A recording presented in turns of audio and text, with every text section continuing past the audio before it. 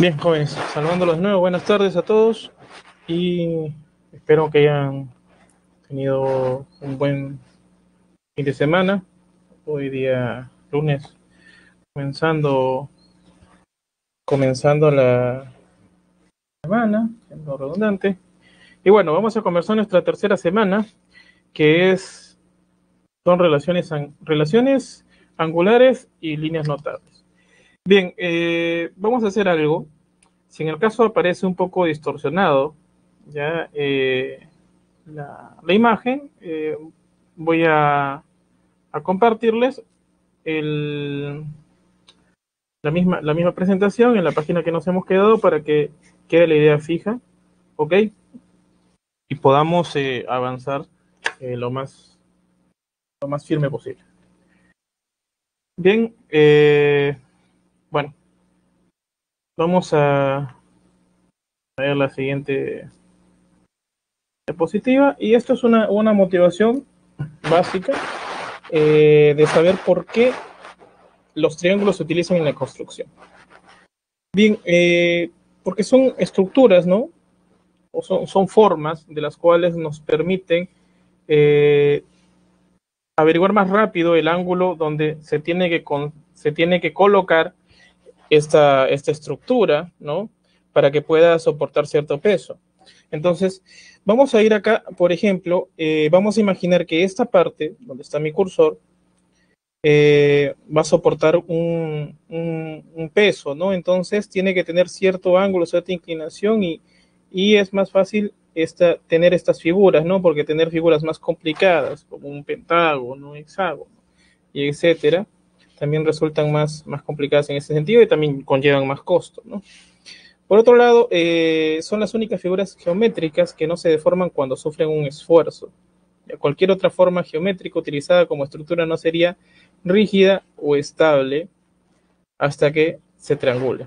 Bien, esta palabra triangular, como ya hemos eh, podido hacer eh, en, anterior, en la anterior presentación, en la anterior clase, eh, le, hemos escuchado ya en, diferentes ámbitos, ya, y bueno, obviamente que también existe esa palabra en la parte de la matemática, ya, para los que están interesados en cuestiones de matemática computacional, entonces existe esta, esta, esta palabra, ya.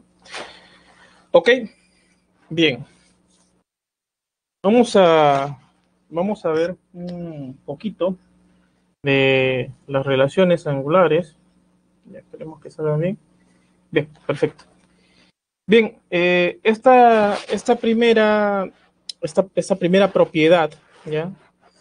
que nos aparece en la parte izquierda de, de nuestras pantallas, es la archiconocida que la suma de los ángulos interiores de un triángulo ya es 180 grados. Bien, esto, esto de aquí, para los que ya están habitados, es una redundancia en su cabeza, es una trivialidad, pero es importante poder mencionarlo porque va a ser justamente nuestro, nuestra, nuestra mayor fuerza o fortaleza, perdón, de cuando nos enfrentemos a los ejercicios, ¿ya? Y cuando veamos algunas propiedades. Bien, estas, estas dos propiedades, justamente, que aparecen aquí, que la suma de los ángulos eh, exteriores, ¿ya? Entonces suman 360. Bien, si ustedes quieren, solamente pueden acordarse del primero porque hacen una extensión, ¿no? Para, en esta parte de la del vértice A hacen alguna extensión para la izquierda, el vértice B hace una, extensión hacia arriba, un poco inclinado, y del vértice C hacia abajo. Y utilizan el par lineal entonces utilizarían de que eh, sería en esta parte 180 menos alfa, 180 menos beta y 180 menos zeta. O pueden colocar otras letras y luego relacionarlas y van a, van a notar de que justamente la suma de los ángulos exteriores va a dar 360 grados. Bien, y ahora la relación que hay entre los ángulos eh, interiores y exteriores, bueno, en este caso 1, que está aquí en el vértice C, que dice, en todo triángulo, la medida de un ángulo exterior es igual a la suma de las medidas de los otros dos ángulos interiores no adyacentes a él. Bien, miren ustedes bien las premisas, ¿ya? Cómo están comenzando las propiedades. ¿Qué dicen las propiedades? En todo triángulo. No está, no está siendo, no está siendo particularizado para un tipo de ángulo, sino en todo triángulo. No es como el famoso teorema de Pitágoras, ¿no? Haciendo un poco, recordando, que dice que en todo triángulo rectángulo, ok, ahí coloco una restricción. Entonces, eso hay que tenerlo en cuenta al momento de leer las propiedades para poder aplicarlos. Entonces, tenemos que ver en qué tipo de objetos o qué tipo de condiciones se necesita para que nosotros podamos aplicar esto. Bien. Vamos a ver alguna, algunos teoremas adicionales esto también puede ser conocido por algunos, tal vez por otros no, pero es importante poder mencionarlos, ¿ok? Y darles una, una pequeña una pequeña motivación ante eso. Disculpen que estaba sacando la hojita donde estaban las cosas. Bien. Ahora, si alguien eh, por ahí se recuerda, perfecto. Si no, vamos a recordarnos aquí un poquito. Bien, esto, esto parece un estilo, para los que quieran tenerlo en su cabeza, tipo un pescado, ¿no? Una figura de pescado. Entonces, ¿qué es lo que nos dice la propiedad? Los ángulos, estos que están al frente, la suma de ellos es igual a la suma de los ángulos exteriores no adyacentes a él. A esos dos, ¿ok? Bien, Ahora, alguien por ahí, si tiene la, la, el tiempo, ¿no? Porque obviamente que son varios cursos. Bien, ¿qué cosa van a, si alguien quiere ver que la propiedad es verdad, eh, hacemos lo siguiente, solo trazamos una línea.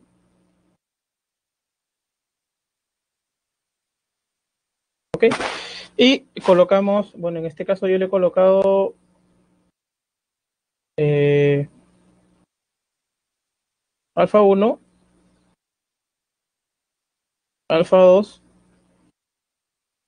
ok, beta 1 y beta 2. Bien.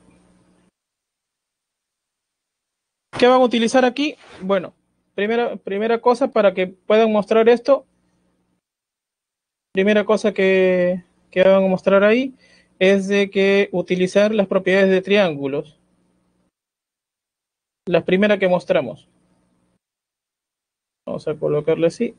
Propiedades de triángulos. Y segundo, eh, utilizar también el par lineal.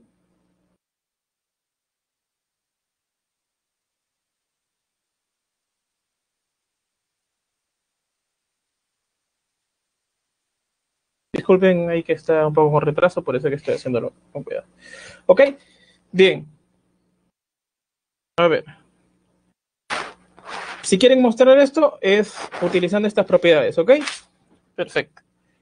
Eh, la segunda propiedad es solamente, ¿por qué estamos dando estas informaciones? Por lo siguiente, porque como vengo repitiendo desde la primera semana, justamente en nuestro, en nuestro examen nos ponemos nerviosos y a veces nos pasa, como se dice coloquialmente, nos pasa la factura de que nos podemos olvidar. Entonces, para eso eh, nos apoyamos en deducciones y justamente estas deducciones o estas dos cosas eh, se aplican aquí para mostrar esta propiedad porque sea el caso de que sea un ejercicio muy abstracto donde tenga, en el sentido de que tenga muchas letras, entonces necesitamos herramientas, ¿ok?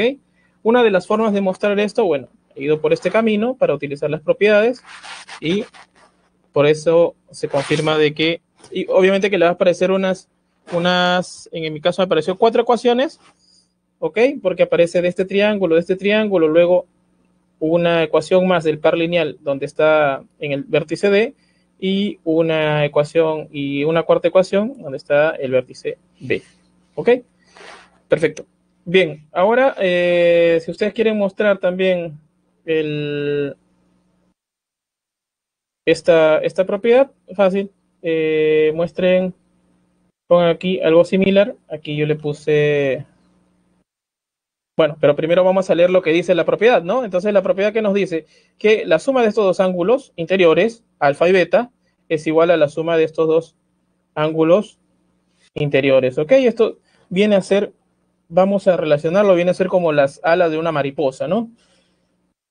Bien, y si no recordamos, entonces, para eso colocamos nuestro, perdón, aquí vamos a colocar la otra letrita, ¿ya? Y esto, eh, vamos a colocarle Z, ¿ya? Para que no se confunda. Bien. Bien, ahí que utilizamos eh, las cuestiones de mirar este, el triángulo ABC, ABD, suma de los ángulos interiores y luego suman los ángulos interiores de ACD, ¿ok? Y justamente muestran esta propiedad. ¿Ok? Eh, perfecto. ¿Están entendiendo hasta ahí? ¿O tienen alguna duda, alguna pregunta?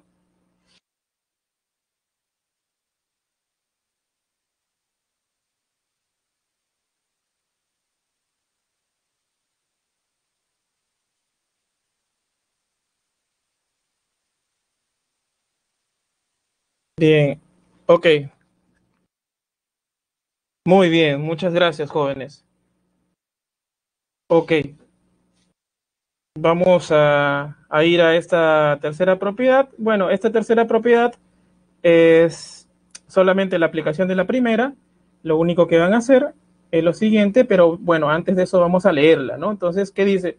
La suma de, los, de esta figura, ¿no? Tenemos una figura de cuatro lados entonces, la suma de estos dos ángulos interiores es igual a la suma de los dos ángulos exteriores. Bien, y si ustedes quieren aplicar la primera propiedad, entonces eh, hacemos lo siguiente. Eh, entendemos, perdón. Vamos a dibujarlo mejor, si nos queda un poquito mal.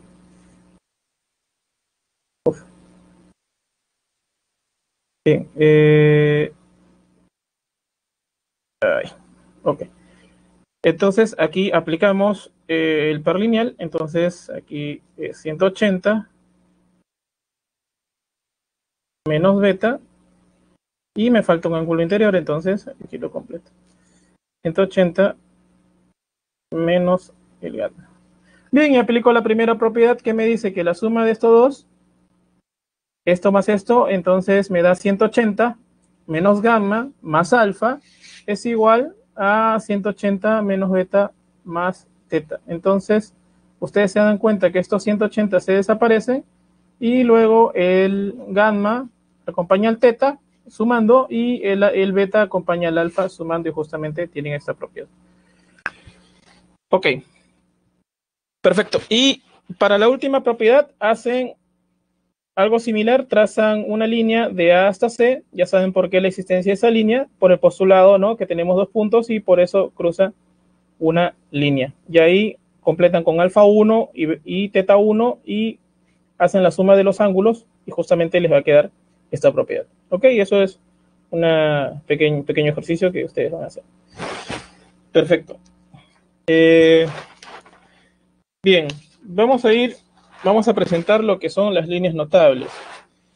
Bien, eh, esto ya ha sido tratado ¿no? en nuestros, nuestros cursos en la escuela, ¿ya? O tal vez alguien nos ha hablado de, estos, de estas líneas notables. Entonces, vamos a, a ver aquí. La primera línea notable que se nos presenta, claro, ¿cómo no, señorita? Ok. Bien. Ok, yo creo que 5, 4, ya está. Ok, de nada, señorita. Perfecto. Entonces, ¿qué es lo que nos dice o cuál es el concepto o la definición de segmento? Dice, eh, de Seviana, es un segmento que une un vértice con un punto cualquiera del lado opuesto o de su prolongación. Bien, la primera parte es la que está en línea en rojo, el, porque el triángulo es ABC. Entonces, la sediana interior relativa al lado AC se representa así. Desde el vértice B hasta el lado AC, que cae en el punto que se va a denotar con el punto D. Y cuando es exterior, ya la segunda parte, o, de su prolongación, significa que está en esta parte del exterior, o sea, parte, en este caso, desde el vértice B hasta este punto donde se ha prolongado esta recta AC o este segmento se ha prolongado hasta E y justamente ahí es donde se intersectan y ahí es donde cae la seviana eh, exterior relativa a AC. ¿Ok? Entonces, eh, la seviana puede caer así o puede extenderse para acá, para, para el otro lado, para la izquierda.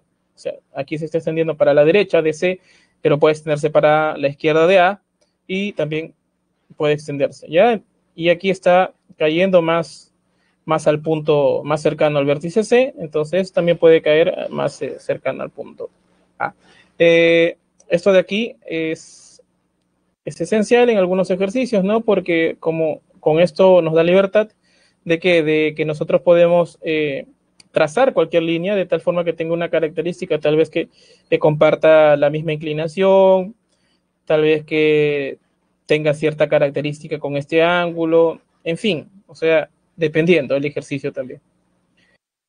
Ok, entonces, ahora tenemos una segunda, eh, una segunda línea notable que es la altura lo cual es un segmento perpendicular, o sea, que forma un ángulo de 90 grados, vamos a ver, a un lado, trazado desde el vértice opuesto a él. En el triángulo ABC, ¿qué sucede aquí en el triángulo ABC? tenemos dos ángulos, dos triángulos, un acutángulo donde sus ángulos son estrictamente, está entre 0 y 90, y un obtusángulo donde uno de ellos está entre 90 y 180, ¿no? Entonces, la altura, como dice el concepto, es un segmento que cae perpendicular a un lado opuesto a él, ¿ok? Perfecto. Eh, la altura puede también partir del vértice A e ir para el lado BC. Bueno, aquí me olvidé mencionar que la seviana también puede salir desde el vértice A o del vértice C, ¿ya? No necesariamente, es una línea cualquiera, en, hablando coloquialmente.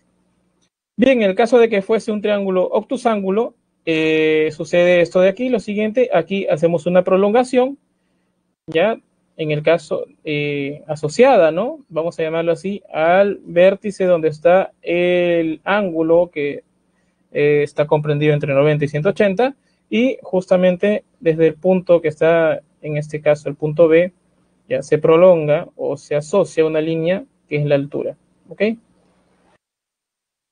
Bien, Ahora eh, vamos a, a, presentar esta, esta línea que se llama mediana. Ok, ok, cómo no. Bien. Sí, señorita Alexia. Eh, bueno. Ok. Perfecto. Bien. Eh, bien, tenemos eh, la mediana. Bueno, la mediana eh, es un segmento que se une de un vértice con el punto medio del lado opuesto. Bueno, esto de punto medio ya lo hemos visto desde la primera semana, ¿no?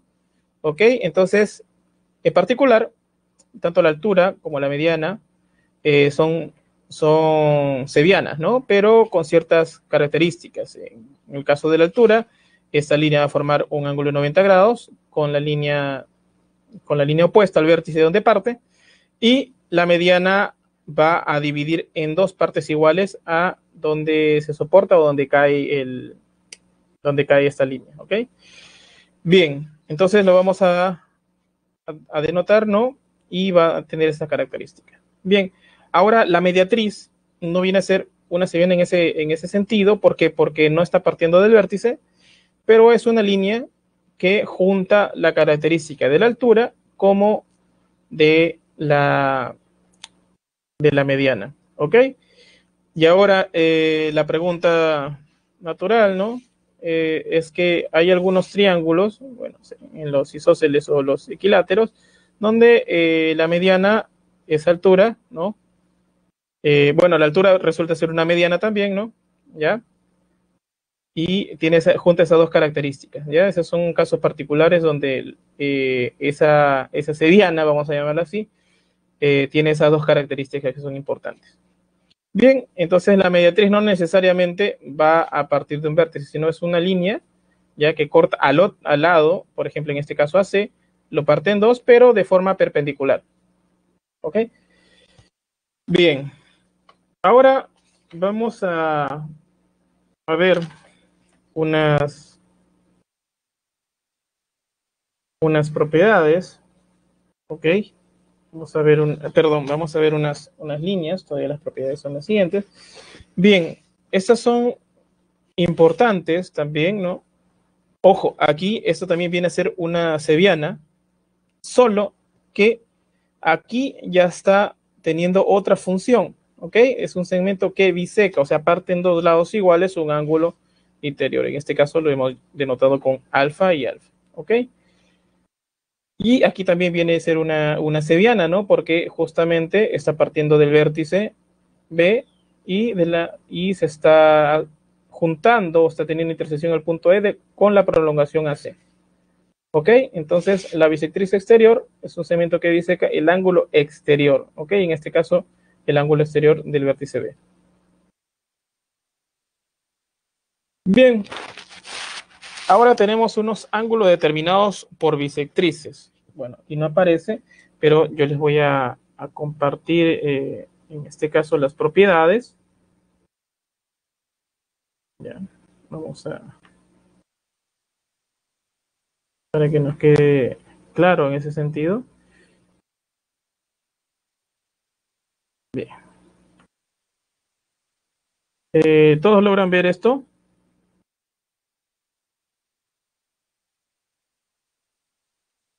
Ok. Perfecto. Vámonos directamente a... Ya todo esto lo hemos presentado. Bien. Bien. La bisectriz interior y la bisectriz exterior. Ok, vamos a ver los teoremas. Ok, tenemos una bisectriz en este caso tenemos una bisectriz que parte del ángulo ya BAC o del vértice A. Bien, y tenemos otra bisectriz eh, exterior al vértice o al ángulo BCA, o en este caso el vértice C, que vamos a llamar teta y teta, esas dos particiones. Bien, y aquí se va a formar un ángulo X, ¿ok? Bien, y vamos a colocar un ángulo beta, ¿ya? Que vamos a ver cómo es que se relaciona X con beta. Bien, esta propiedad nos dice que si tenemos un ángulo, una bisectriz interior y una bisectriz exterior, ¿ya?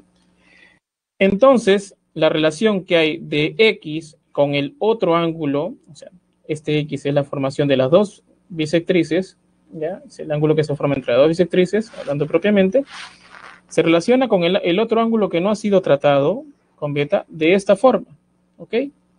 Y nos dice que x es igual a beta sobre 2, ¿ok? Esa es la parte importante de nuestro, de nuestro asunto. Y si ustedes quieren eh, mostrarlo, cómo es que se cumple que x es igual a beta sobre 2, eh, completen esta parte del ángulo C, en la parte interior del triángulo ABC, y ustedes saben que por par lineal le va a aparecer 180 menos 2 teta. ¿Ok? Entonces, de ahí ustedes se fijan de que justamente eh, el triángulo ABC, la suma de los ángulos interiores, da 180 y del triángulo ACE también da 180. Entonces ahí justamente tienen unas ecuaciones donde aparecen los dos alfa y aparece el número teta. Entonces, pueden ustedes eh, relacionarlos de esa forma y justamente le va a aparecer esta relación. Ya, de otra forma lo pueden relacionar también eh, alfa más x eh, es igual a teta. Ya, es otra forma de hacerlo. Entonces, ustedes tendrían la suma de los ángulos interiores de ABC, del triángulo ABC, y que alfa más x es igual a teta. ¿Ok? Pueden hacerlo eso y justamente les va a quedar esta información.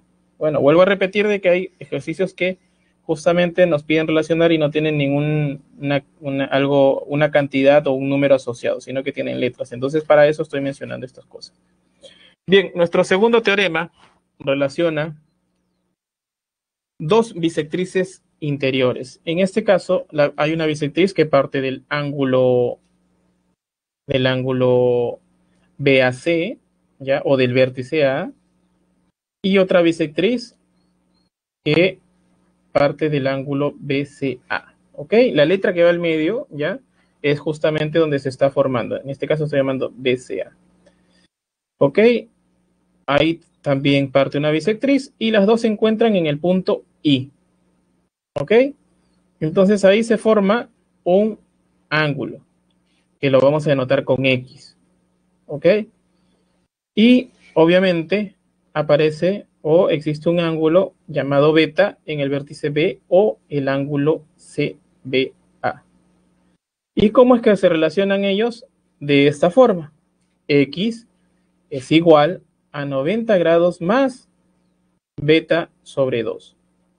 Bien, si ustedes quieren entrar a mostrar de que justamente esto es verdad o que la relación de X y beta es esta, bien, emplean por eso es que menciono y vuelvo a repetir que la primera propiedad, que la suma de los ángulos interiores es 180, es fundamental para mostrar estas propiedades. Entonces, ¿ustedes qué hacen? Suman alfa más x más teta es igual a 180. Ese es en el ángulo A y C, en el triángulo A y C, perdón. Y luego miran el triángulo ABC, los ángulos interiores. 2 alfa más beta más 2 teta nos da justamente 180. Bien, hacen, resuelven esas ecuaciones y justamente les va a quedar que x es igual a 90 grados más beta sobre 2. ¿Ok? Lo estoy mencionando porque ya hemos hecho las motivaciones con las otras en las propiedades anteriores. Y en la propiedad número 3, relacionan, aquí ya hemos relacionado una, en la primera hemos relacionado una bisectriz interior con una exterior, en la segunda 12, dos interiores, entonces en la tercera vamos a relacionar dos bisectrices exteriores. ¿Ok? En este caso vamos a tener un, una bisectriz exterior en el vértice B, ¿ok? Y en el vértice C. En el primer caso vamos a llamar de alfa y alfa, y lo, en el otro va a partir teta y teta. Bien, y tenemos el ángulo X que es formado por estas dos bisectrices exteriores y tenemos un ángulo beta. ¿Ok? Entonces, la relación de, eso, de esos dos ángulos que no, eh, que no se han tocado, por decirlo así, son beta y x se relacionan, o x y beta se relacionan de esta forma. Bien, como hemos hecho la información para los dos anteriores, la primera cosa que van a utilizar es lo siguiente, es par lineal. Entonces van a complementar el ángulo interior en el vértice B, va a ser 180 menos 2 alfa, y en el vértice C, 180 menos 2 teta. Utilizan el hecho de que eh, beta más 180 menos 2 alfa más 180 menos 2 teta es igual a 180, y luego utilizan de que alfa más x más teta vale 180, tienen una ecuación, resuelven esa ecuación eliminan los alfas y los tetas y justamente les queda esta, esta relación de X con beta. ¿Ok? Perfecto. Vamos a, a proseguir en nuestra... Bien. ¿Tienen alguna pregunta ahí con las propiedades? ¿O está, estamos, estamos bien?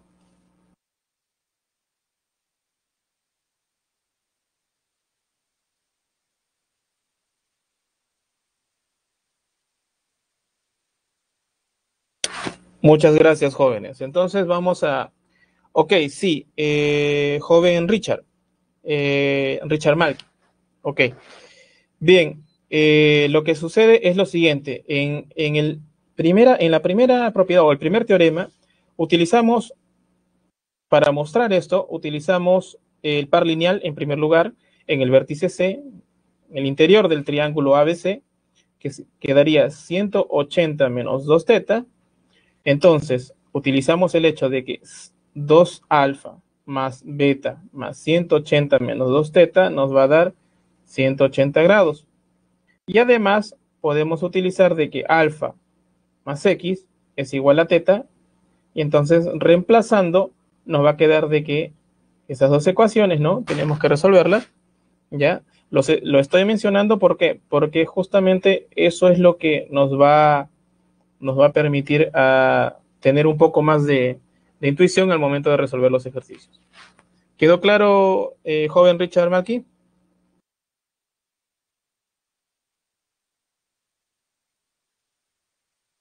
De nada, joven. Muy bien. Vamos a los que ustedes esperaban, a los ejercicios. Bien. Eh, para mencionarles, eh, el ejercicio 1, ya, el ejercicio 1, ustedes van a utilizar suma de ángulos interiores. ¿Ok? Resuelven ecuaciones y justamente le va a aparecer esa, esa parte. ¿Ok? Sí, justamente sale la Bien.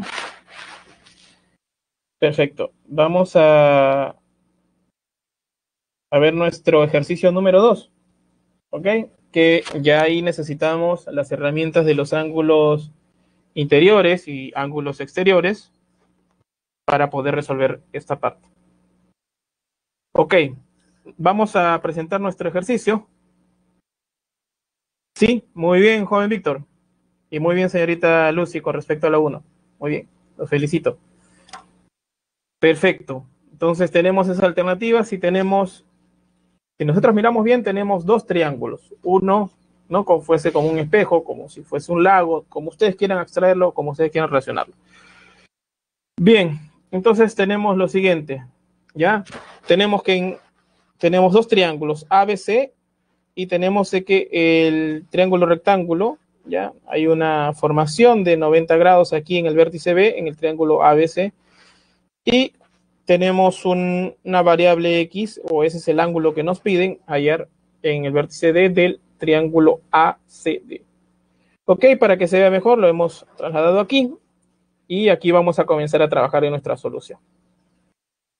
Bien, tenemos dos ángulos exteriores también. Ok, tenemos en esta parte 4 alfa y alfa, y aquí tenemos 4 beta y beta. Bien, ahí hacemos una prolongación, sabemos que por par lineal, si hago la prolongación, si en esta parte el interior es 90, entonces ese ángulo exterior en el vértice B también va a ser 90 grados. Bien, entonces, ¿qué es la primera cosa que utilizamos? Utilizamos la suma de ángulos exteriores. En este caso, olvidémonos de la parte que está abajo de, la parte A, D, C. Solamente nos vamos a concentrar en A, B, C. ¿Ok? En esta parte, justamente. Entonces, ¿cuál es la información que nos dice? Todo este ángulo exterior al vértice A, ¿cuál es? Alfa más alfa, son términos semejantes, nos da 5 alfa. En la parte del vértice C, son A4 beta más beta, nos da 5 beta. Y en esta parte que está el cuadradito, es 90 grados. Todo eso nos da como resultado de la suma 360 grados. ¿Ok? Eh, resolviendo esto, pasando el 90 a restar con 360, nos queda 270. Eh, colocando el factor común fuera, eh, que es 5, entonces nos quedaría 5 veces alfa más beta. Y ese 5 pasa a dividir y nos queda justamente 54 grados que vale alfa más beta. Bien, ahora, ¿cuál es lo que vamos a hacer? Utilizar ángulos opuestos por el vértice. Entonces vamos a pasar toda esa información que tenemos de alfa y beta a el triángulo ADC. ¿Ok? Y análogamente hacemos con nuestro ángulo beta. Y utilizamos, o solamente vemos, nos olvidamos de la parte de arriba y solamente vemos el triángulo ADC y utilizamos la suma de los ángulos interiores en el triángulo ADC, el cual nos da que alfa más beta más x es igual a 180. Pero tenemos que la información de que alfa más beta es 54. Bien, despejando, nos queda de que X vale 126. Muy bien, joven Álvaro. La respuesta es la B. ¿Ha quedado claro, jóvenes, este ejercicio? Ok, ¿cómo no? Ok, vamos a, a repetir una vez más este ejercicio. Ok, para que nos quede claro y podamos avanzar. Pero ahora lo vamos a repetir un poquito más rápido para que... Sí, sí. Eh, señorita Alexia, sí. Pero eh, lo que pasa es que íbamos a encontrar una relación entre alfa, beta, x y 90 grados. Entonces, eso sería casi al final, ¿no? Después que habíamos encontrado cuánto vale o cómo se relaciona alfa y beta. De la pregunta número uno sale la respuesta A. ¿Ok? Bien. Vamos a... Sí. Ok. Bien. Vamos a, observar esto. Lo que hemos hecho es lo siguiente. De nada, señorita Nicole. Lo que hemos hecho es lo siguiente. Hemos prolongado el vértice B o el segmento de recta AB, como ustedes lo quieran llamar. Entonces, y ahora hemos sumado los ángulos exteriores, solamente de este triángulo ABC.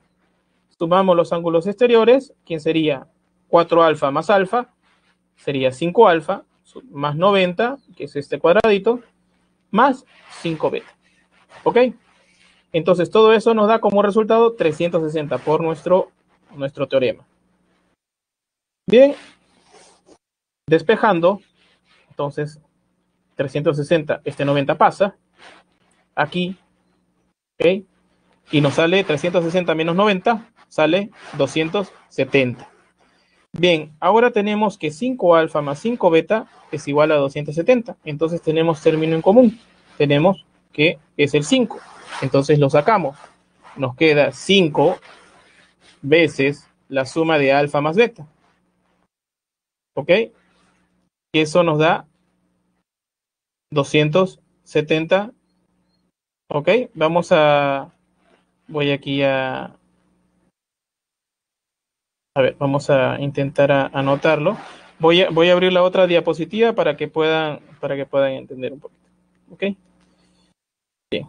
Vamos a, a intentar encontrar una parte en blanco. Bien. Entonces, lo que hemos hecho aquí es lo siguiente. Sí, no. Eh, en esta parte, a ver, en esta parte tenemos de que 5 alfa más 5 beta es igual a 270. Perdón. Bien, entonces saco el factor común que es 5 y coloco alfa más beta es igual a 270. Entonces, este 5 a dividir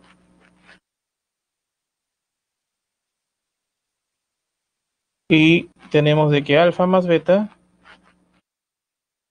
es igual a 54 disculpen que está un poco retrasado, por eso es que...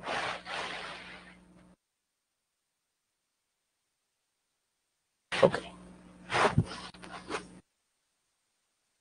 Ok, esa es la...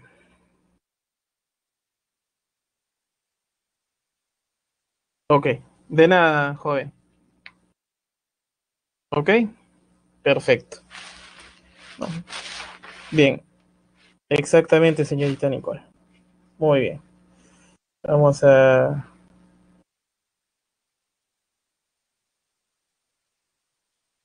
Entonces todo eso está, ya está claro. Y vamos a pasar a nuestro ejercicio número 3. A ver, los que ya están adecuados, vayan intentando la 3. Si no, nos van me van acompañando aquí en la explicación. ¿Ok? Bien. Eh, sí, muy bien, Juan, bien Álvaro. Muy bien. Sí, sí, señorita Alexia. Perfecto, los felicito. ¿Ya? Los que no, los que todavía no, no nos estamos adecuando, entonces vamos a, a seguir y vamos a intentar. ¿Ok? Perfecto. Aquí tenemos en la figura, se muestra un esquema de tuberías interconectadas de tal manera que la tubería QC, en este caso la parte de abajo que está en plomo, mide 5 metros.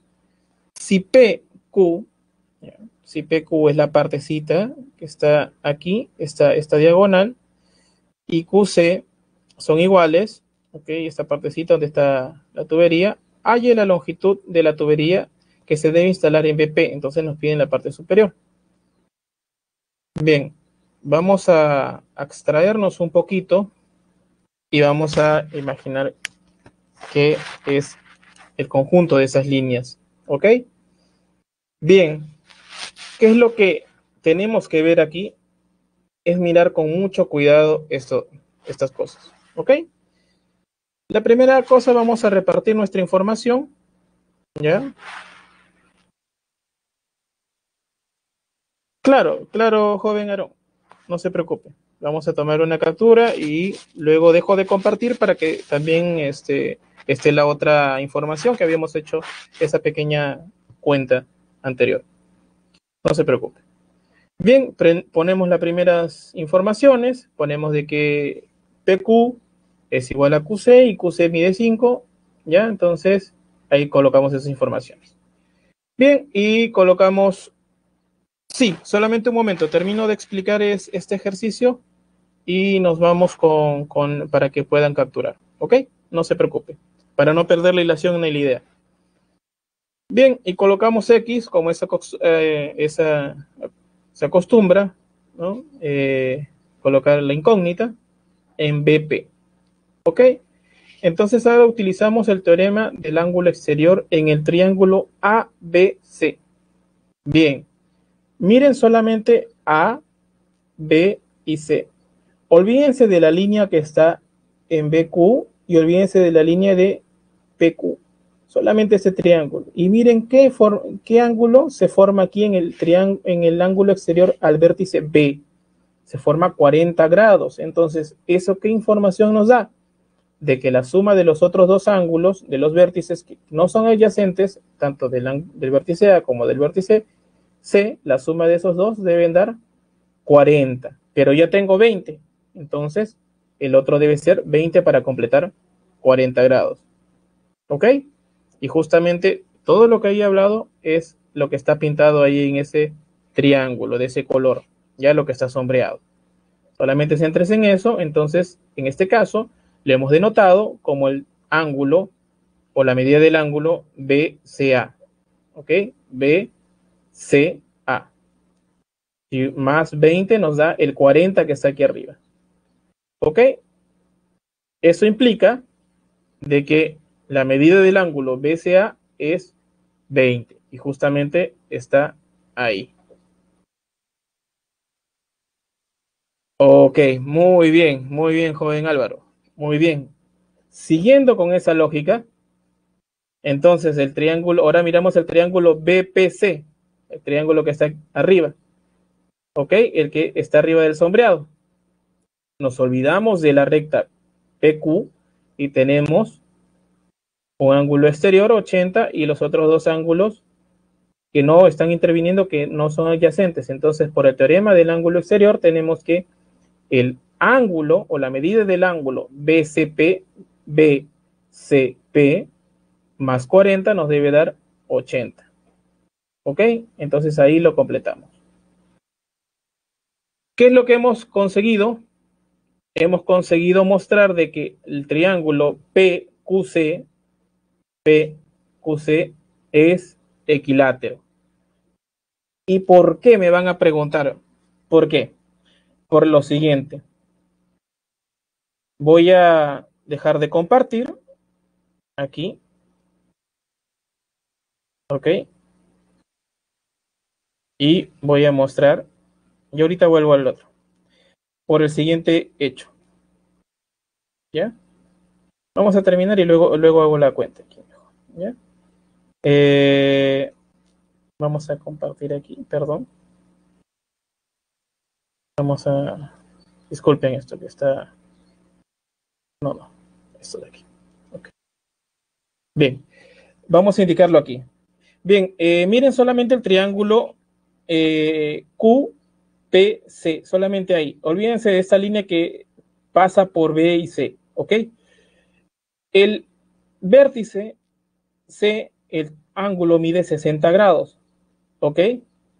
Antes de eso. Bien, entonces el vértice P va a ser 60 grados también. ¿Por qué? Porque al mismo lado, mismo ángulo. ¿Ok? Ahora utilizamos el teorema de los ángulos interiores, que nos dice que la suma de los ángulos interiores mide 180. Entonces, si ya tenemos de que en el triángulo QPC el vértice C mide 60 grados, ¿ya? Por el teorema que hemos presentado la semana pasada, el vértice P también mide 60 grados porque, vuelvo a repetir, a mismo lado, mismo ángulo. Y luego, por el teorema de ángulos interiores, tenemos que el vértice Q va a ser 60 grados. Y de nuevo utilizando a mismo lado, mismo ángulo. Entonces, por eso deducimos de que el triángulo PQC es equilátero. ¿Ok? Así tenemos de que PC es 5.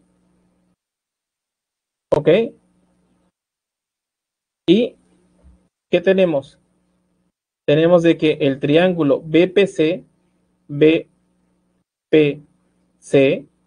¿ok? Es isósceles. Miren solamente el triángulo que está arriba, olvídense de la línea PQ. A mismo lado, mismo ángulo. Ok, si a este 40 le corresponde 5, a este 40 también le va a corresponder 5. Justamente es lo que está ensombreado en color rosa. Ok, y eso implica de que el X va a valer 5 y la respuesta es la C. Ok, ¿tienen alguna pregunta al respecto ahí?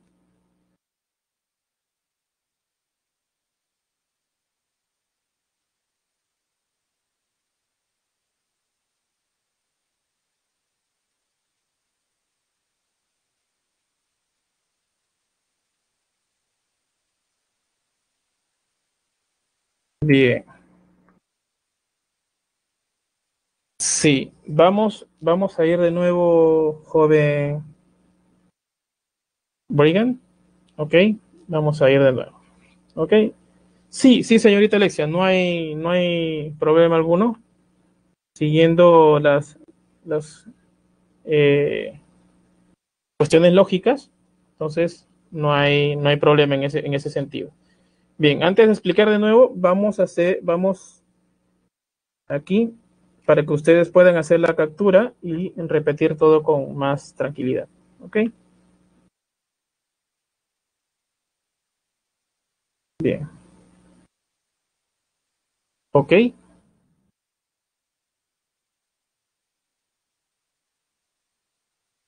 Perfecto. Bien, yo creo que han hecho la captura. Y ok. Vamos a explicar ahora aquí, vamos a explicar paso a paso. ¿Ya? Vamos a explicar paso a paso lo que sucedió en nuestro ejercicio, pero ahora de una manera un poquito más rápida. Ok, vamos a retroceder. Bien, como les dije al principio, vamos a hacer un poco de extracción y que todo esto de aquí se forme líneas. Vamos a asociar líneas, ¿ok? Vamos a olvidarnos de esta figura que puede ser un poco chocante al principio, pero vamos a transformarlo en líneas. Ok. Ahora vamos a colocar las informaciones. que PC y QC son iguales, pero QC vale 5. Entonces, tenemos esa información. Y la otra cosa que le vamos a colocar es de que X va a ser la longitud de BP.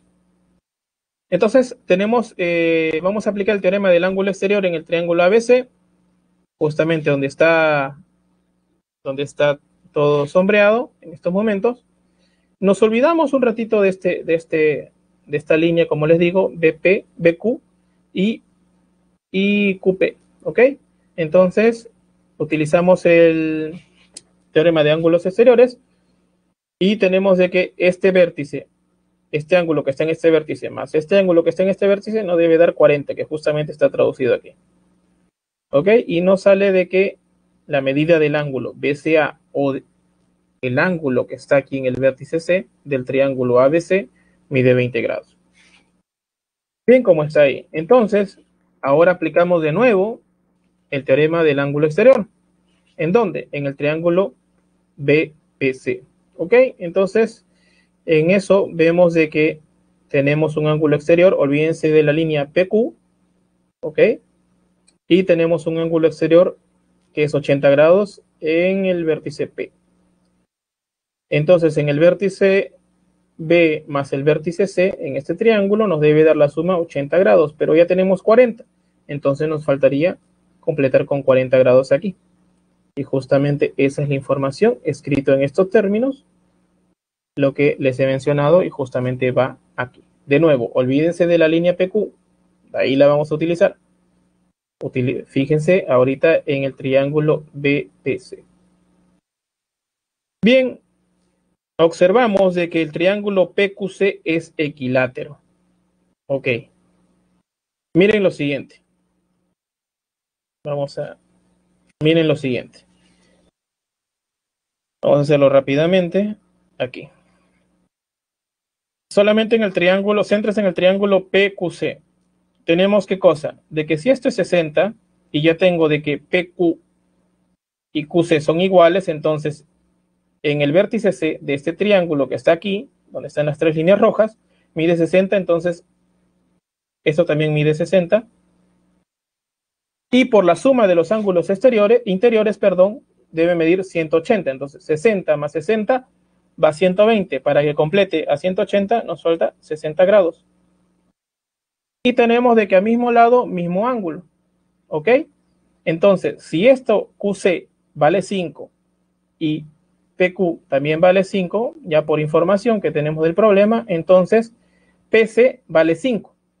Pero ahora, mirando el triángulo BPC, nos olvidamos un ratito de esta línea PQ, mirando son equiláteros, es un triángulo, perdón, isósceles, perdón, es un triángulo isósceles. ¿Eso qué quiere decir? Que a mismo lado, mismo ángulo. Si aquí a este 40 le corresponde 5, entonces a este 40 le va a corresponder 5. ¿Ok? ¿Quedó claro, jóvenes?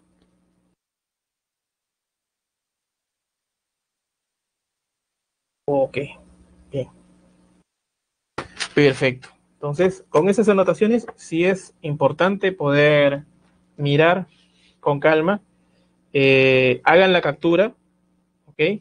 Para poder, este, poder avanzar en los siguientes ejercicios.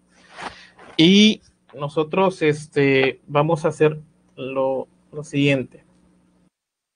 ¿Ok? Eh, bien, el anterior, sí, cómo no. A ver, ahí tienen el anterior, hagan la captura, por favor.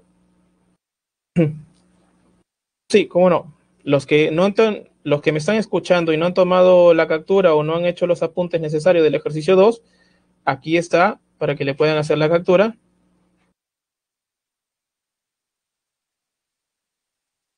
Ok. Bien. Vamos para un siguiente ejercicio.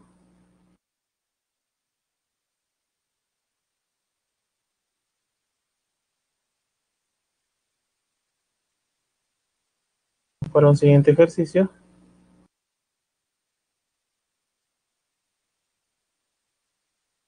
Vamos al ejercicio 5. Bueno, jóvenes, Vamos a, parar un momento aquí porque tienen el receso hasta las 5 y 5. Sí, muy bien, señorita Lucy, muy bien. Bien, la 4, al momento que vuelvan les voy a dar las indicaciones de qué es lo que tienen que utilizar, ¿ok? Para que ustedes puedan, puedan intentarlo. ¿Ok? Solamente utilizan ángulos internos. Bien, nos estamos encontrando dentro de eh, a las 5 y 5, ¿ok? La 4 te sale, ok, a ver, te sale la 20, no, Sale 18. Sí, muy bien. Sí, muy bien, joven Álvaro. Muy bien, señorita Lucy. Qué, bueno que estén intentando. Los felicito. Bien, nos encontramos de aquí a las 5 y 5. ¿Ok?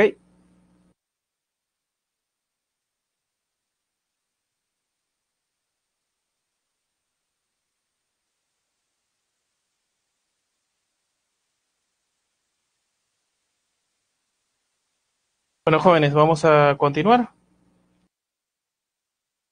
con nuestro ejercicio número 5. Algunos lo habían intentado.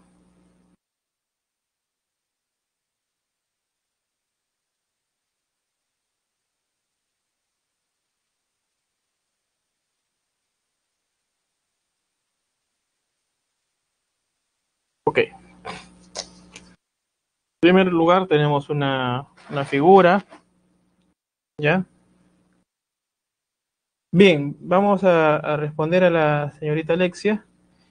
Sí, tenemos eh, el, utiliza el la suma de el teorema de suma de ángulos internos en el triángulo rectángulo ABC y luego tienes la otra información que en el triángulo ADE, ¿ya?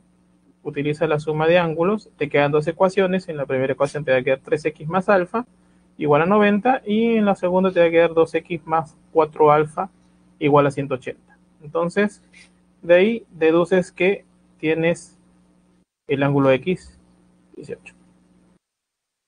En la 5, muy bien, sí. Sale 60. De nada, señorita Alex. Muy bien, joven Álvaro. Ok, vamos a hacer esto lo más didáctico posible para que para poder entender. Bien. Perfecto. Vamos a hacer este ejercicio. Dice, en la figura se muestra un dron que está a una altura, ya, que en esto va a denotar como BH, de 90 metros. Desde el punto A y C se le observa con ángulos de elevación de 80 y 20 grados, siendo, de, siendo que A, H, Q y C son colineales, o sea, que están en la misma línea. Un joven lleva una cámara, aquí faltó, lleva una cámara fotográfica que hace capturas de imágenes desde el punto B, haciendo barrido HQ. Si BQ es bisectriz de un del triángulo ABC, o sea, del más grande, halle la medida del ángulo de elevación del visor ubicado en Q. Ok. La solución es lo siguiente. Primera cosa que vamos a hacer, vamos a extraernos, vamos a denotar aquí las, las cosas ¿ya? Y vamos a asociarlo a líneas, como ya estaba antes, sino que ya vamos a olvidarnos de algunas cosas como el dron y la parte que está del piso. Ok. Primera información, BH vale 90 metros. Segunda cosa, que el ángulo de elevación eh, desde el punto A es 80 grados y desde el punto C es 20 grados. Y nos piden el, el ángulo de elevación desde el punto Q. ¿Ok? Entonces, la primera información que tenemos del, del primer triángulo, ya en este caso va a ser triángulo rectángulo, tenemos de que el ángulo de 90 en el triángulo, vamos a llamarlo así, vamos por partes, A, B, H, A, en el vértice H va a ser 90 por par lineal, porque ya tenemos 90 grados aquí y para el otro lado también va a ser 90 grados. ¿Ok? Además, tenemos de que la medida del ángulo ABH es 10 grados. ¿Por qué? Porque ya tenemos 90 en este lado, en H, tenemos 80 en el vértice A, entonces para complementar que la suma de los ángulos interiores de un triángulo debe ser 180, entonces nos falta que sea 10 y justamente es ese ángulo. Bien, vamos a colocar ángulo alfa ahí dentro del triángulo del triángulo rectángulo BHQ. ¿Ok?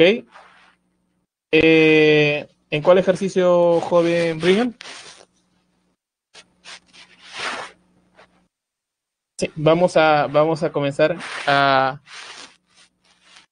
Mm, no, está un poquito lejos. Ok, pero vamos a ver, vamos a ver si, si coincide la respuesta, ¿ok? Porque estamos aquí para aprender. Esto es nuestro entrenamiento y nuestro, nuestro punto fuerte va a ser el examen. No hay problema si, si fallamos, es importante intentarlo, ¿ok? Más bien les agradezco que estén intentando. Bien, ahora tenemos de que BQ es bisectriz del triángulo rectángulo ABC, o sea, el triángulo más grande. Olvidémonos de esta altura BH. Bien, entonces el, ángulo que se forma en el vértice B o que se va a partir va a ser 10A más 10A, más 10 alfa, ¿ok? Esa es la primera información que nosotros vamos a, bueno, la segunda información que vamos a obtener por ser bisectriz. Ok, vamos, en, vamos a mirar ese triángulo rectángulo. Ya, vamos a mirar ese triángulo rectángulo B, H, C. ¿Qué nos dice? Nos dice eh, lo siguiente. Nos dice que la, la, la suma, ¿ya? de estos tres va a ser 90, pero en los triángulos rectángulos hay una característica que la suma de los otros dos ángulos debe dar 90. ¿Ok? Entonces, en este caso, o ser complementarios. ¿Ok? Muy bien, muy bien.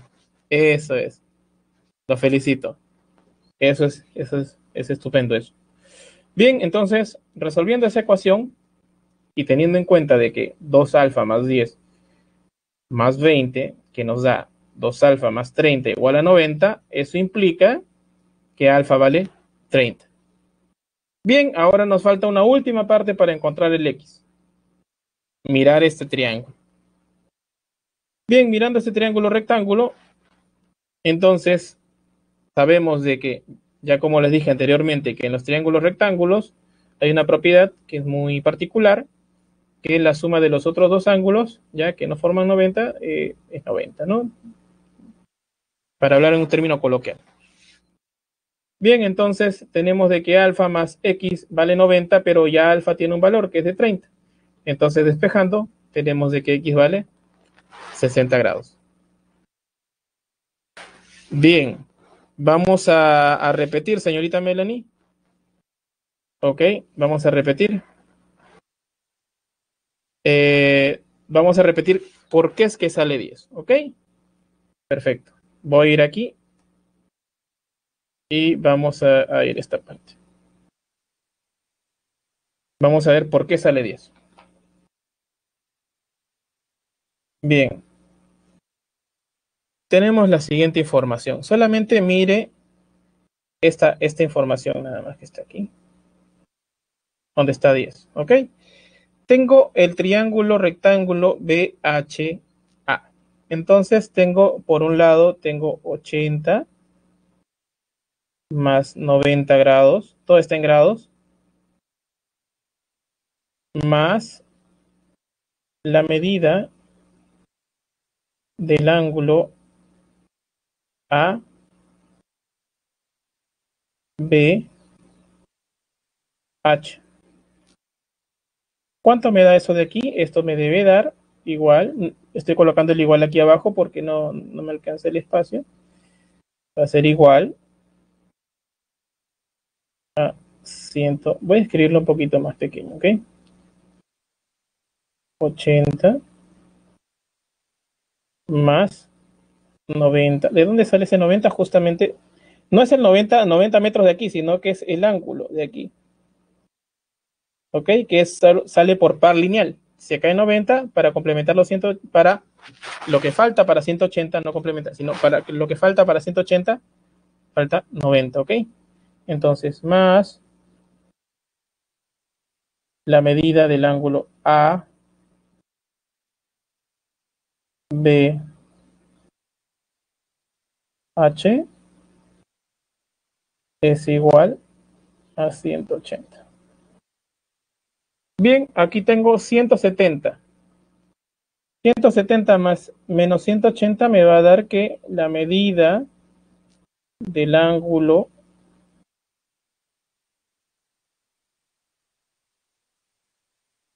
va a ser 10 grados. ¿Ok? A ver.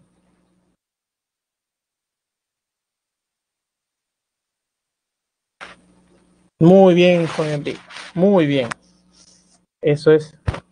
Muy bien.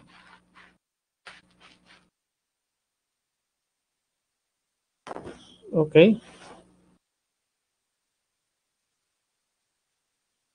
Muy bien. Eh...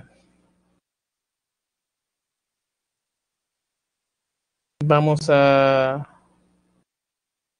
Ok, muy bien. ¿Todo claro en este ejercicio? A ver. ¿Tienen alguna pregunta, alguna observación? ¿Alguna parte no han entendido?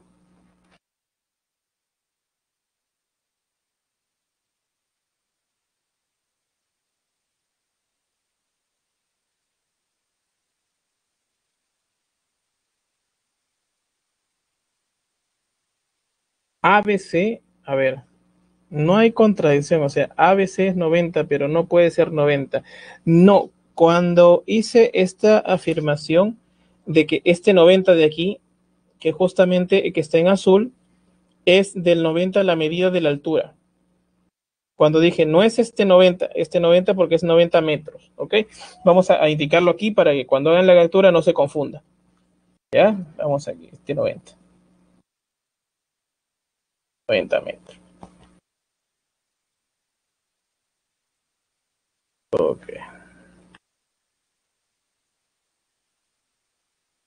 El ángulo ABC.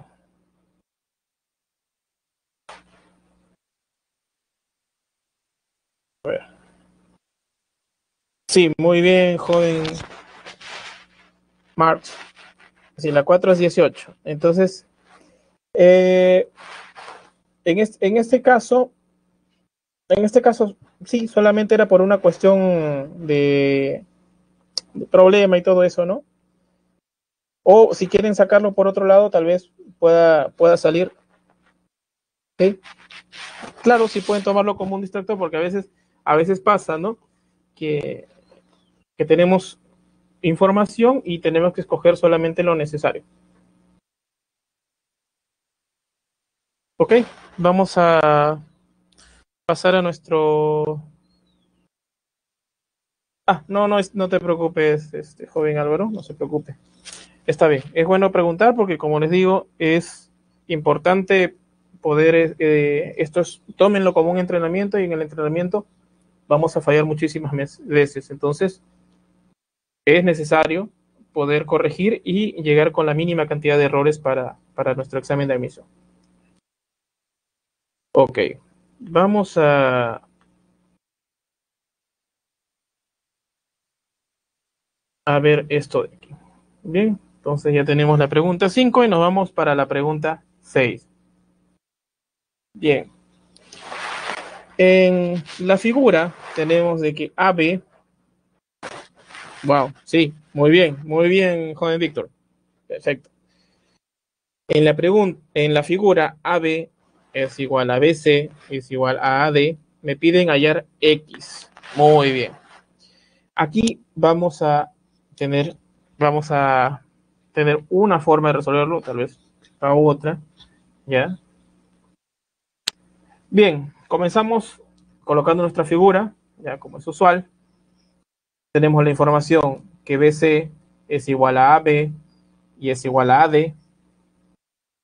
Bien, entonces el triángulo ABC es isósceles. Eso quiere decir de que la medida del ángulo BCA en el triángulo solamente que está arriba, ¿ok? Olvídense un ratito del que está abajo. Mide 5x. Bien, vamos a hacer una extensión, una prolongación del segmento AD en el triángulo ADC. ¿Ok? El teorema del ángulo exterior que nos dice que el ángulo exterior a este vértice en este triángulo ADC es igual a la suma de los ángulos no adyacentes. Entonces, eso nos da como resultado 17x. Bien, pero como ya tenemos 5, nos está faltando 12x. Justamente es eso. Perfecto. Vamos a seguir avanzando. Vamos a trazar una línea de estos dos puntos, B, de B hasta D, ¿Ok? Esa línea. Y vemos y o notamos del que el triángulo ABD es isósceles. Ese triángulo que está marcado. ¿Ok? Entonces, tenemos que por la suma del ángulo exterior, miren aquí en el, punto, en el vértice A, tenemos un ángulo exterior que es 12x, entonces como es isósceles, tiene que ser el mismo ángulo. ¿Ok? Aquí en el vértice B y en el vértice D. Entonces, eso quiere decir que esto de aquí mide 6x y el otro 6x. ¿Por qué? Porque es isósceles, ¿ok? Bien, ¿qué otra información tenemos? Tenemos que la medida de BDC, BDC del triángulo que está a la derecha de nuestras pantallas, ¿ok? BDC mide 8x. Entonces, y además tenemos que el vértice D por dato, ya en el triángulo ADC mide 14x. Entonces, si ya tenemos 6x, en esto de aquí se ha, se ha puesto para que, o cuánto falta para que sea 14x, falta 8x. Eso nos lleva a decir de que este triángulo A o PDC es isósceles. Entonces, al mismo lado, mismo ángulo. Y aquí tenemos, ¿qué cosa? Un triángulo equilátero, ABD. Entonces, si esto es equilátero, entonces cada uno de los ángulos va a medir 60 grados. Eso conlleva a de que X vale 10. Y la respuesta es la D. ¿Tienen alguna pregunta, jóvenes, ahí?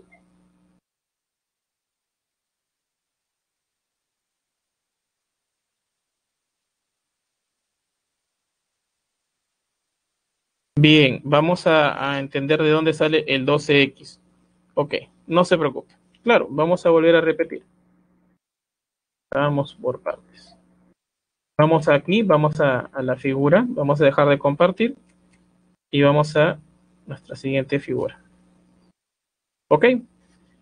Aquí es donde yo les voy a explicar de dónde sale el 12X. Yo creo que está mejor aquí en la presentación, perdón. Con todos los elementos. ¿Ya? Bien, muchas gracias, este, Joven Mariano, de nada. Bien, miren, el ejercicio es este tal cual como está ahí. Vamos a explicar. Si necesitamos hacer alguna anotación, la vamos a hacer. Vamos a, escribirlo, si no, ok. Tenemos esa información y tenemos que BC es igual a AB y es igual a AD. Esa es la información del ejercicio, ¿ok? Bien. Otra cosa que tenemos. Tenemos de que el triángulo, olvídense del triángulo de aquí abajo, del ADC. Solamente fíjense en ABC, es isósceles. ¿Ok? Entonces, si es isósceles, el triángulo de arriba, a mismo lado, mismo ángulo. Entonces, si a este 5, a este que está en la parte eh, rayada con rojo, vamos a decirlo así, le corresponde 5x, entonces a, a este que está también rayado con rojo, o sea que va a tener la misma longitud, también le va a corresponder 5x. ¿Ok? Perfecto. Vamos a hacer una prolongación, ¿ok? Vamos a hacer una prolongación. Lo que indica aquí es lo siguiente. Miren solamente el triángulo ADC. El triángulo ADC. ¿Bien? Tenemos el teorema del ángulo exterior. El ángulo exterior se mide desde la línea, o sea, el ángulo que forma AC esa línea, ese segmento que forma AC con la prolongación de AD. ¿Ok? Todo eso va a medir cuánto? 17 grados. ¿Ok? 17 grados. Pero ya tengo 5. ¿Cuánto me falta? Me falta 12 grados. Justamente aquí como le hemos indicado en EAB. ¿Se acuerdan cuando hicimos segmentos y ángulos? EAB. ¿Ok? faltaría que sí, 12 grados para, 12x, perdón, para mm, completar los 17x. ¿Ok? Hasta ahí, ¿está entendido? A ver.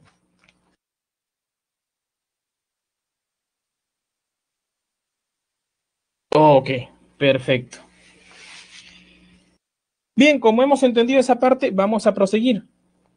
Vamos a trazar una línea BD y nos vamos a olvidar un ratito de ese 14 que está ahí. ¿Ok? Y vamos a mirar el BD. Bien. Mirando el BD, ¿qué es lo que obtenemos? Obtenemos una información de que ese ángulo o ese triángulo, perdón, el triángulo ABD es isósceles. Justamente el, que está aquí.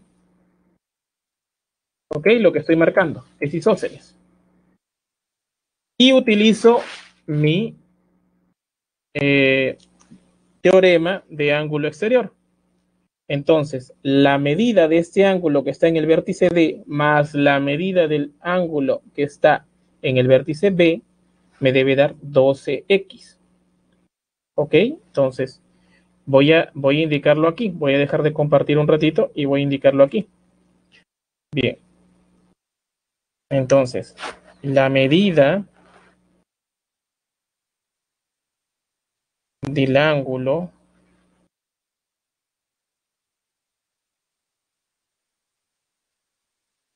Pero vamos a escribirlo mejor. La medida del ángulo. A. D. B. Más la medida del ángulo.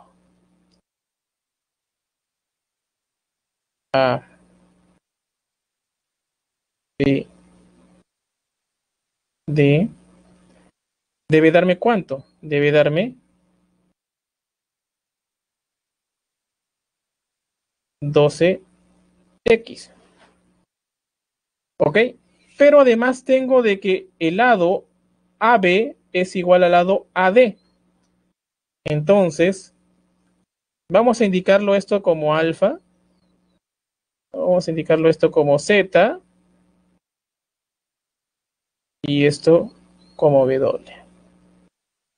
Ok, entonces la suma de Z con W me debe dar 12X pero como son, como es un triángulo isósceles, a mismo lado, mismo ángulo, entonces Z es igual a W. Entonces, ¿qué es lo que tengo? Como Z es igual a W, voy a colocar, eh, vamos a colocarle W igual. Entonces, W más W es igual a 12X y 2W es igual a 12x. El W lo dejo en función de x, ¿ok? Entonces, ¿eso qué implica? Implica que W vale 6x. ¿Ok? Perfecto. Bien, vamos a, a compartir de nuevo para, porque aquí está distorsionado, ¿ok? Bien, entonces, es por eso que me sale esta información, que aquí es 6x y aquí es 6x. Ok, aquí le había puesto z y aquí le había puesto w. Perdón, aquí z y aquí w. Abajo en el d, z y... ¿Ya? Bien, como BD se vuelve igual a AD. Justamente ahorita vamos a llegar ahí, señorita Alexia. Bien, ahora, ¿qué es lo que tengo? Tengo lo siguiente. En esta parte, no lo puedo, no lo, lo, notan en el vértice D. ¿Qué es lo que dice el ejercicio? Mide 14x. Si yo tengo 6x, ¿cuánto es que falta en esta parte del triángulo BDC? 8x. Muy bien. Justamente eso. Pero de nuevo miro el BDC y tengo de que en el vértice C es 8X y aquí 8X. Entonces, a mismo lado, mismo ángulo. Entonces, de ahí implica de que BD es igual a BC. ¿Ok? Y mirando solo ese triángulo, que es equilátero, tenemos de que 6x es igual a 60. Lo que ten, por lo tanto, x es igual a 10. A ver, no dice el joven Brigan, 18x es igual a 10. Mm, no, lo que estamos, eh, seguramente está preguntando sobre esta parte del triángulo equilátero. Eh, no, lo, lo, lo, que sucede es lo siguiente. Es de que como tenemos el triángulo equilátero, entonces cada ángulo C. Ah, sí, sí, sí, sí, está bien. Ahí está bien, 18 Ah, sí, sí, sí. Pero lo que pasa, para ir un poquito más, este, está, está, está perfecto la, la esto porque justamente he utilizado eh, la suma de los ángulos interiores, es 180. Sí, muy bien, está perfecto. ¿Sí? Ya, pero además vamos a, adicionar algo, una propiedad en, la, en los triángulos equiláteros, ¿no? Ya, justamente está perfecto lo que ha hecho el joven Brigham, pero vamos a adicionar. ¿Qué es lo que nos dice el triángulo equilátero? Que cada ángulo va a medir 60 grados. Entonces es por eso que tenemos. O sea, de, de lo que usted ha hecho, ya hemos deducido o se deduce esas, esas cositas, ¿no? Como son iguales, entonces los tres ángulos son iguales. Está perfecto y los felicito a todos los que lo han intentado o los que han hecho, los que han participado y los que no han participado y tal vez lo han intentado. ¿Ok? Perfecto, entonces nos sale la respuesta D. Vamos a nuestro ejercicio número 7. ¿Qué es lo que nos dice nuestro ejercicio número 7? es lo siguiente. En la figura, muy bien, muy bien, señorita Lucy. Muy bien. En la figura, A, B, C y D forman una red de puntos topográficos. ¿Ok? Donde las medidas de los ángulos A, alfa, beta y teta están en progresión aritmética creciente y suman 210 halle la medida del ángulo entre linderos C y CD. Ok, vamos a ir por partes. Voy a explicarles este ejercicio eh, con calma. Ya voy a repetirlo esta vez y una segunda vez para desmenuzar todos los detalles que están interviniendo en esta parte. Bien, la solución es lo siguiente, vamos como vuelvo a repetir, cuando nos ponen un ejercicio lo importante es la abstracción, ¿ya? Es mirarlo con cuidado, con calma. Así hay muchos que no nos puede, no nos puede mucho, eh, no estamos afín a la geometría, pero hay que mirarlo con mucha, con mucha, mucho cariño a la matemática en sí, ¿ya? Entonces, la geometría es un, un campo muy importante y esto nos va a ayudar mucho a tener una óptica diferente. Bien, nos abstraemos y los datos son los siguientes. Dice que tenemos una progresión aritmética. Bien, no coloco la, otra diapositiva que, es, subida. ¿Por qué? Porque va a aparecer toda la resolución. Vamos a ir por partes. De ahí voy a explicar parte por parte. ¿Ok? Bien, una progresión aritmética tiene elementos, ¿ya? Y tiene una razón. ¿Ok? Esa razón lo vamos a denotar como R. ¿Ok? Entonces, por ejemplo, una progresión aritmética de números consecutivos es 1, 2, 3. Entonces, ¿cuál es la razón? Sumar de 1 en 1. O puede ser menos 1, 0 y 1. Entonces, sumas de 1 en 1. O puede ser 1, menos 2, menos 3 y así. Entonces, la razón es menos 3, menos 1 y como quiera, ¿no? Entonces, eso es una progresión aritmética. ¿Ok? Pero en este caso vamos a eh, colocar n. Si nos damos cuenta, tenemos 1, 2 y 3. Entonces, vamos a centrarnos en el 2. Del 2 para el 1, ¿qué tengo que hacer? Restar la razón, que la razón va a ser 1. Entonces, en vez de avanzar de izquierda a derecha, ahora retrocedo, ¿ya? O voy de derecha a izquierda. Entonces, como voy a retroceder, le voy a colocar menos la razón, que sería menos R en este caso.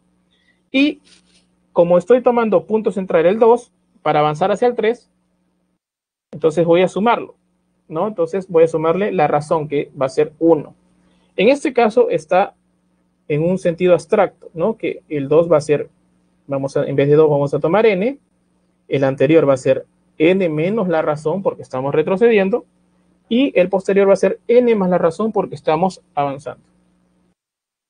Bien, esas partes lo voy a volver a explicar, no se preocupen. Bien, y todos ellos suman, entonces alfa más beta más teta suman 210 grados, pero alfa tiene un valor, que es n más r, que está aquí el primer, la primera expresión que está en celeste. Luego beta tiene un valor que es n y teta que es n más r. Entonces tenemos términos semejantes. ¿Cuáles son? n, n y n, que suma 3n. R menos r más r son semejantes sí y tienen signos diferentes. Entonces desaparecen y nos queda n. Entonces 3n es igual a 210, lo que implica que n vale 70. Bien, nos están pidiendo hallar la medida de ese ángulo, que lo vamos a denotar con x. ¿Ok? Entonces, ¿qué es la primera cosa que tenemos? El primer teorema que nosotros mostramos, un pescado, ¿no? Pescadito, que nos dice la suma de beta más x es igual a alfa más beta, ¿no? ¿Ok? Esa es la primera información que tenemos, justamente en esta parte. Bien, entonces tenemos información sobre beta. ¿Quién es beta? Es n. ¿Quién es alfa? Alfa es n menos r. ¿Quién es beta? ¿Quién es teta, perdón? n más r. Tenemos términos semejantes. Tenemos quién? R con R se van porque tienen signos diferentes. Aquí tengo 2n. ¿ya? Entonces x más n es igual a 2n. Este n pasa a restar y nos queda 2n menos n, nos queda x es igual a n. Bien, pero como x es igual a n y ya hemos detectado quién es n, nos sale que es el valor de 70 grados. ¿Ok? ¿Tienen alguna pregunta?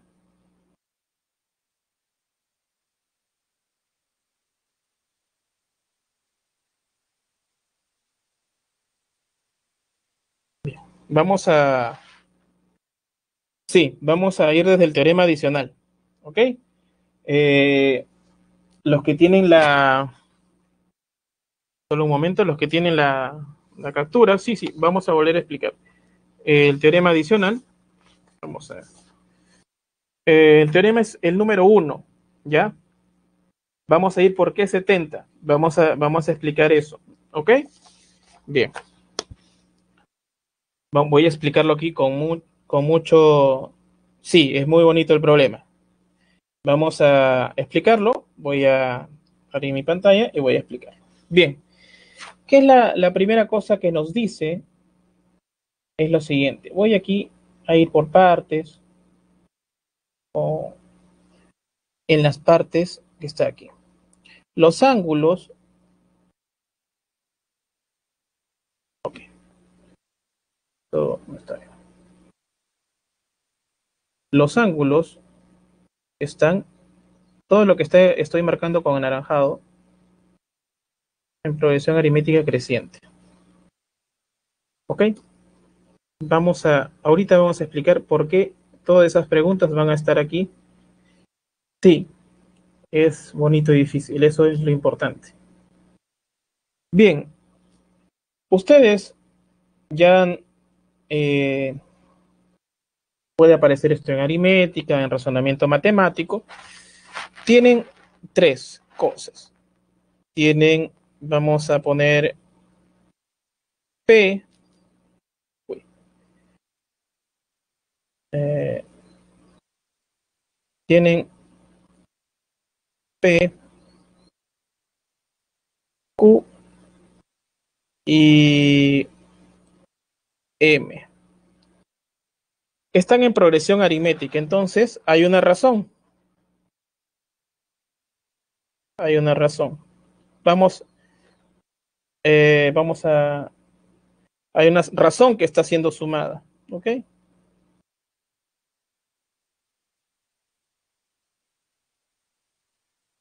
Lo estoy, lo estoy haciendo así para que se pueda entender y ver de qué eh, relacionarlo con nuestro problema.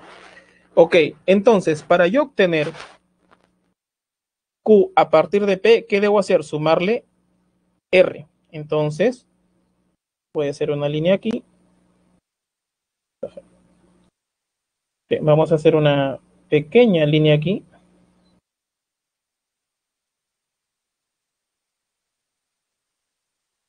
Bien. ¿Qué es lo que hago? Al, si a P yo le sumo R, obtengo Q. ¿Ok? Y si yo a Q le sumo R, obtengo M. ¿Ok? ¿Hasta ahí está claro?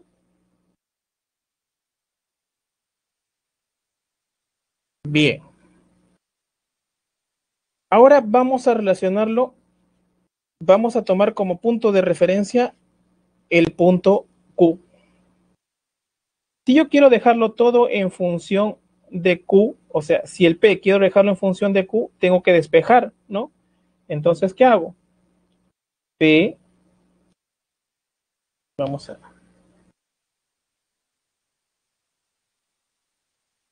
Entonces, vamos a anotarlo aquí. P es igual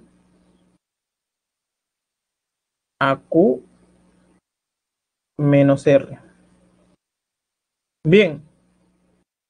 Q es igual a Q, es, es decir que 1 es igual a 1, entonces no hay problema. Y M va a ser igual a Q más R.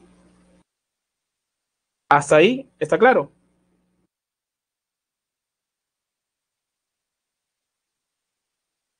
Sí, e importante, importante la apreciación. ¿Por qué no 2 más R? ¿Por qué?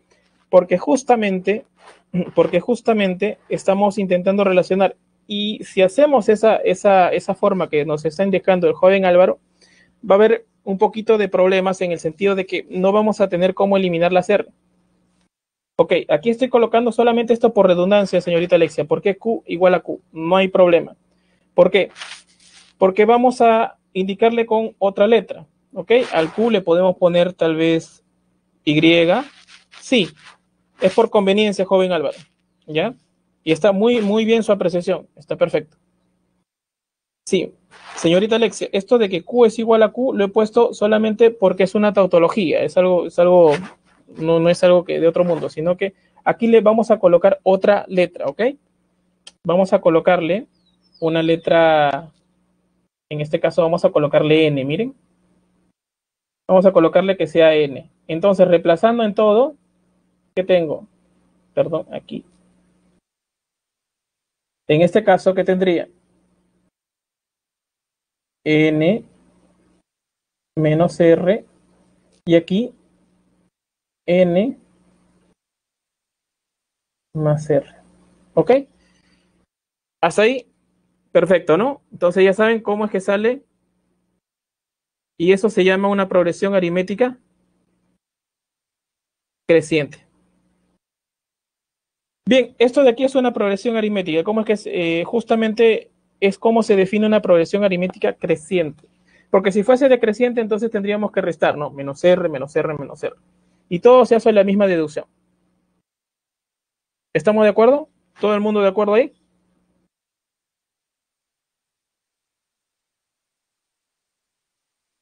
Ok, vamos a ver.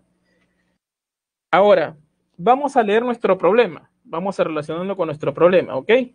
Dice alfa, beta y teta. Entonces ya no tenemos PQM, sino tenemos alfa, beta y teta. ¿Ok? está en una progresión aritmética creciente. Entonces van a tener esta forma. Como ya deducimos, alfa va a ser quién? n menos r. Beta va a ser n. Y eh, la 8, vamos a, ahorita vamos a dar la información sobre la 8 para terminar de explicar esto. ¿Ok? Y teta va a ser n. Eh, sí, solo un momento para poder terminar esto y dar la información sobre la 8. Ok. Bien, eh, y teta va a valer n más r. ¿Ok? Entonces, vamos a colocar aquí. Voy a colocarlo aquí arribita. ¿Qué me dice el problema? Alfa más beta más teta es igual a 210. Muy bien. ¿Quién es alfa? Es, vamos a colocarlo. ¿Quién es alfa? Está, vamos a colocarle otro color. A colocarle. Este es alfa.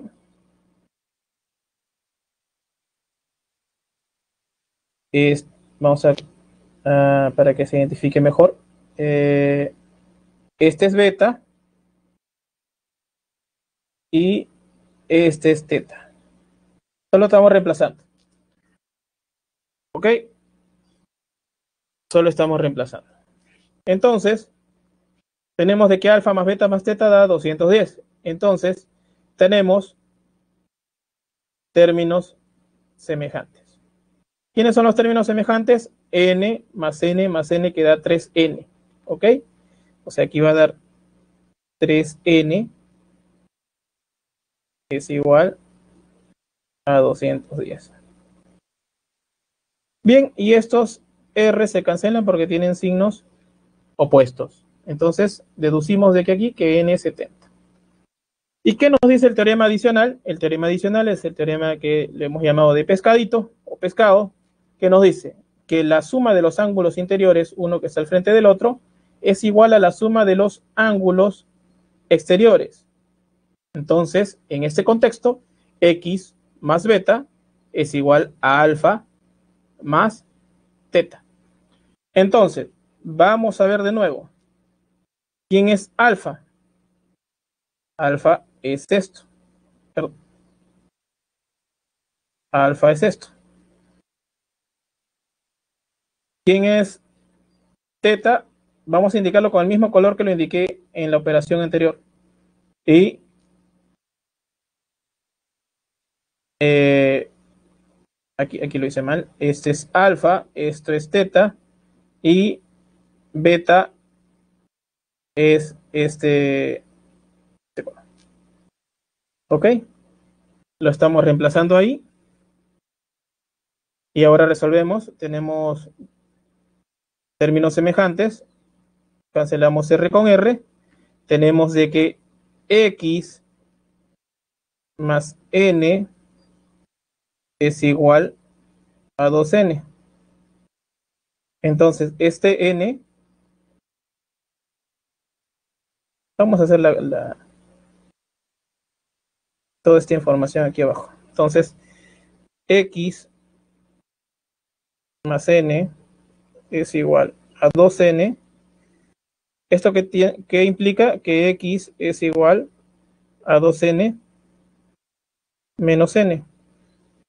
¿Esto que implica? Que x es igual a n. ¿Ok?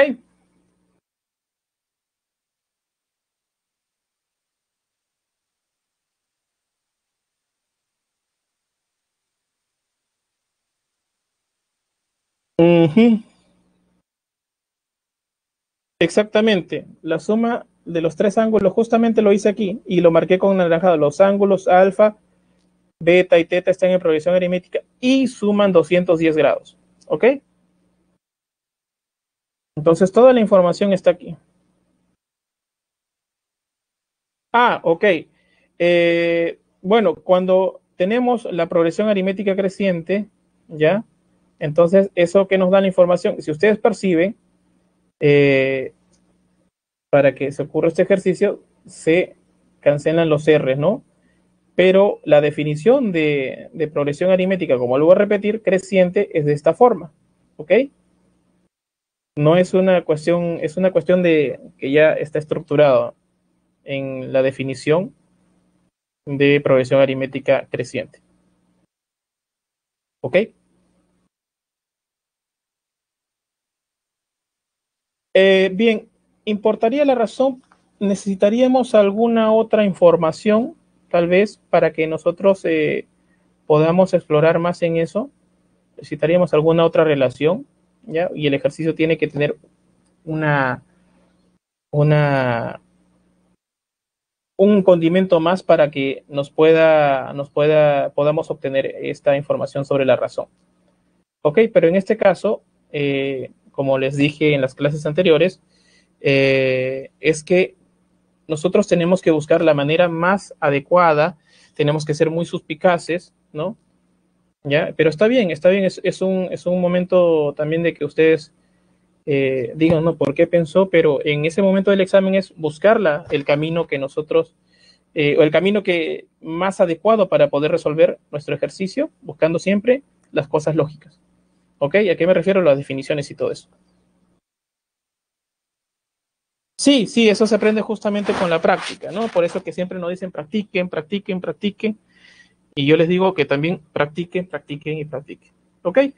Vamos a abordar nuestro último ejercicio del día, ¿ya? Aquí yo había este, colocado otros ejercicios, pero igual les, les dejo la, las, este, voy a pasar rápidamente para que hagan las capturas y al final este, también les dejo la clave de, de, respuestas, ¿ok? Ah, sí, justamente, joven Mariano, en la 8, en la respuesta es la A, 120, sí.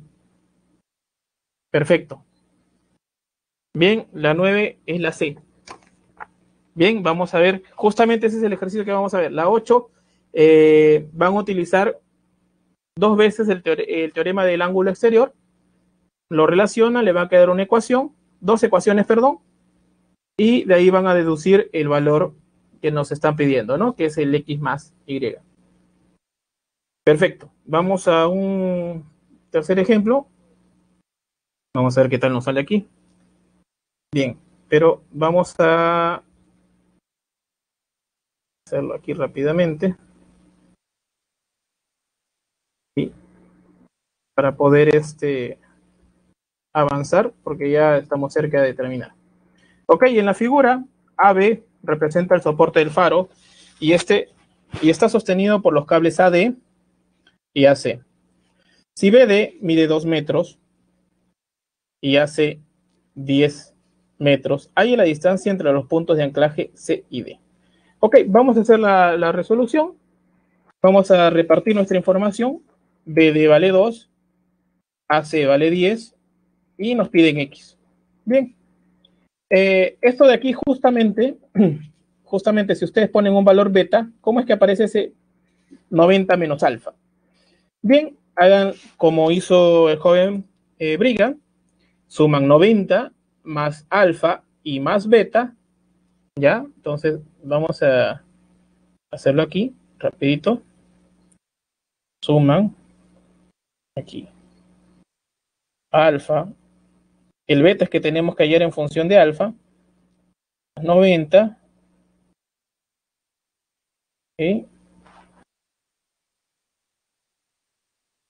Es igual a 180.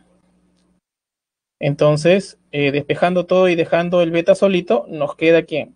Este 90 menos 180 menos 90 nos queda 90 menos alfa. Y justamente el beta sería lo que apareció ahí como 90 menos alfa. Bien. Perfecto. Vamos a ir rapidito para ir terminando.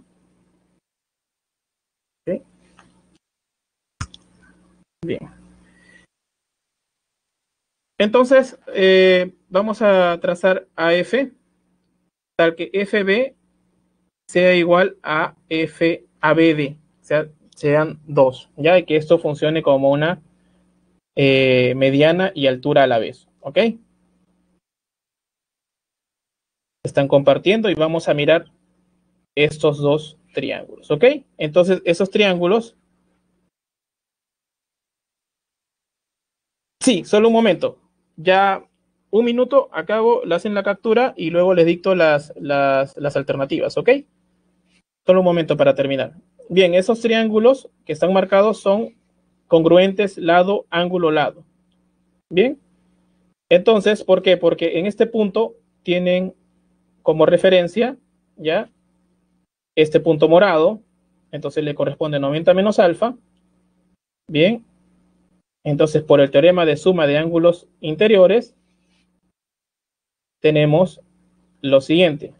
En el triángulo ACF, ¿ok?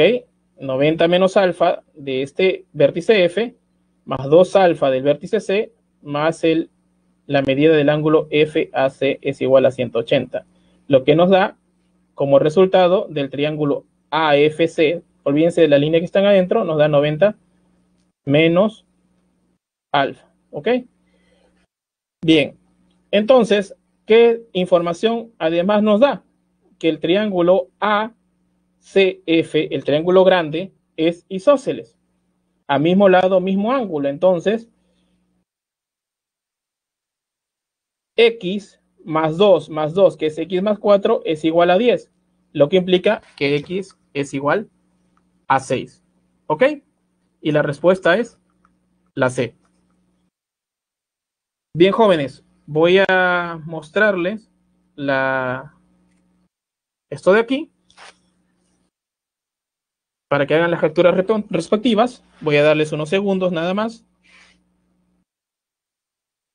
Ok, vamos a ir con eso. Esa es la 9. La 10. Sí, sí, sí, joven Mariano, queda grabado. Ok, ¿por qué x más 4 es igual a 10? Porque mira, en el vértice A tienes 90 menos alfa y en el vértice F tienes 90 menos alfa. Mismo lado, mismo ángulo. Entonces X más 2 más 2 tiene que ser igual a 10. ¿Ok? Bien, vamos, este, voy avanzando. Eh, justamente salió por el teorema de los ángulos interiores, que justamente sumo 90 menos, menos alfa, 2 alfa, y a esto le pongo la medida del ángulo FAC, F, A, C, ¿ok? Y despejo todo. ¿Cuánto vale F a C? Tengo términos semejantes. Tengo que menos alfa más 2 alfa, me sale alfa. Este 90 pasa aquí 180 y luego 180 menos 90 sale 90 menos alfa. ¿Ok? Bien, voy a dictarles, como va a quedar grabado, voy a dictarles las alternativas y luego me paso a despedir. Ok, en el ejercicio 10 esta sale la respuesta A. ¿Ok? En el ejercicio 11 sale la respuesta A. En el primer ejercicio la respuesta es la A. ¿Ok? En los tres es la respuesta A. Vuelvo a repetir una vez más. En el número 10 es la A, en la 11 es la A, en la, el primer problema es la A. Y esto es la clave de respuestas. Ok, hagan las capturas necesarias. Y bueno, jóvenes, agradecerles una vez más por su atención. Ok, la 11. La 11 sale la A. Sí. 10, 11 y el problema 1 sale la A. Nos vemos jóvenes hasta la próxima semana. Muchas gracias. Nos vemos.